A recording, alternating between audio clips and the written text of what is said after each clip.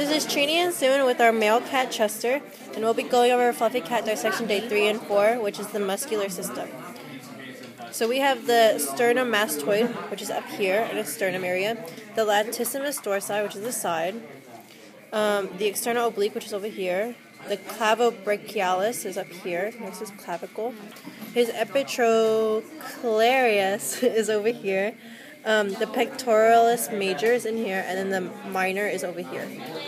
The humerus is the bottom floor of his abs. The linea alba is the middle line, and the rectus abdominis is towards right here, and the triceps brachii is along right here, and the flexor carpus ulnaris is the back. It's the bottom side right the here. bottom side, and the Palmaris longus is the middle right here, and the flexor carpi radialis is the inside right here.